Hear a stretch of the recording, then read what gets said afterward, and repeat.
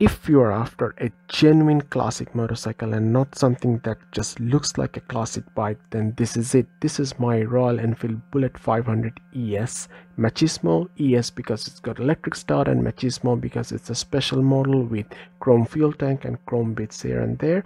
The engine technology dates back to pre-world war ii so it's a 500cc air-cooled engine with push rod and two overhead valves.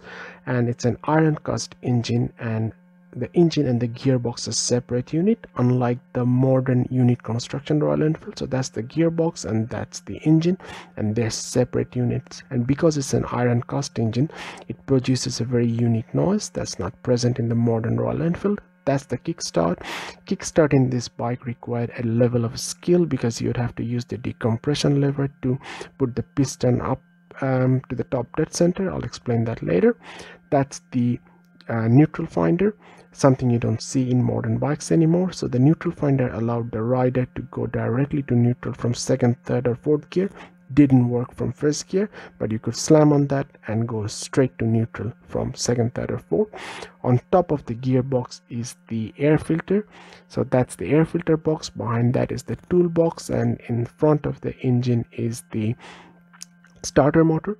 Other than the basic light light switches the bike didn't have much. It only had a speedometer and an amp meter i'll explain the importance of amp meter later. And two pilot lamps classic to royal enfields. Uh, this particular bike has brake on the right side and the gear change lever on the left side which is great because some of them came where the gear change lever was on the right side and it was much harder to ride uh, that's like old British bike. As you can see um, the bottom at from the bottom of the cylinder there's a pipe coming out. That's an open crankcase breather. Um, that's the amp meter.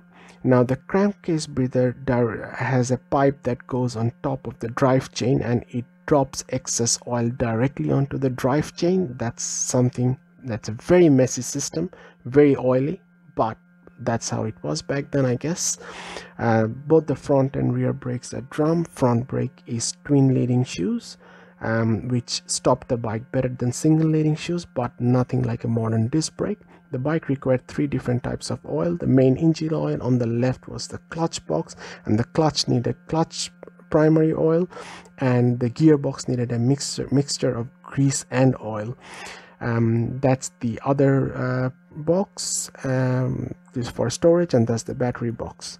Now the the choke lever was directly on, onto the carburetor. I'll show the decompression lever now before that I'll turn the ignition uh, because I'll need to show the use of amp meter. So that's the decompression lever.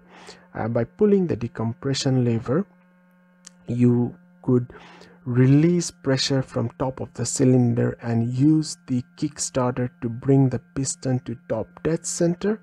That was required to start this 500cc um, single cylinder engine. So that's the kickstarter. You could slowly turn that.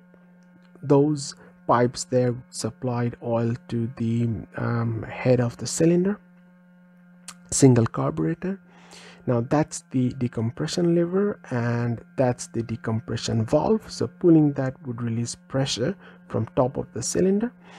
And also this bike doesn't have electronic ignition or CDI it has point system.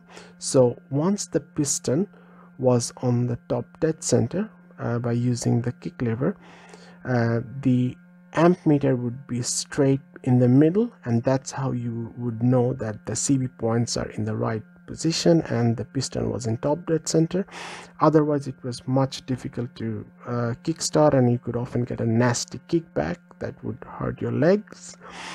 Um, so I'll turn the bike now and I'll start I'll use the start uh, the electric start to start the bike. So should you get one? Well, the bike produced around 20 horsepower, 30 to 35 newton meters of torque, and top speed with me on top was around 100 to 110 kilometers, depending on what I ate for breakfast. As you can see, a lot of vibration.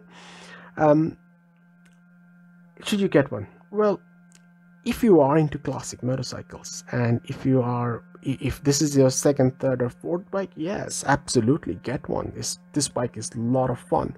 Should you get one as a daily ride? My personal opinion no not really. These bikes are too complicated too many things to go wrong too too old school and also you never knew whether the bike would start in the morning or not. It's just got a temper of its own. The foot pegs as you can see don't fold so if you turn too sharply they could basically dig into the road and you would crash. That's that happened to me once. Uh, other than that if you want something that's genuinely classic genuinely pre-world war ii this is it. In buy it and enjoy it. You have anything more to add, please Thank you. Thank you.